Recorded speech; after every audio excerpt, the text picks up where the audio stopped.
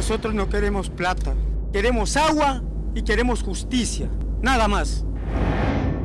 La mano sucia de Chevron.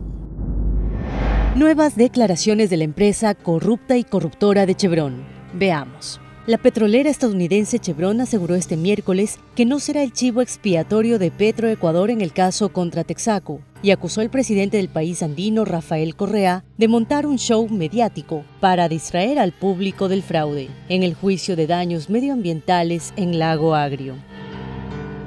La empresa alega que jamás operó en Ecuador y que Texaco, adquirida por la petrolera en 2001, terminó sus operaciones en 1990 y si terminó sus operaciones en 1990, ¿cómo es que demanda en La Haya al Ecuador utilizando un tratado de protección recíproca de inversiones que entró en vigencia desde 1997? Es decir, aplicando retroactivamente la ley. La mano sucia de Chevron y el alcance de sus millones. La empresa corrupta y corruptora de Chevron dice, la gran jugada es tratar de culpar a Chevron por cosas que son de neta responsabilidad de Petroecuador.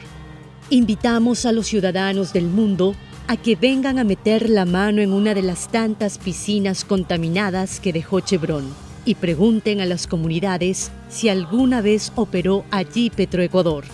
No podrán, pese a sus millones, ocultar la verdad.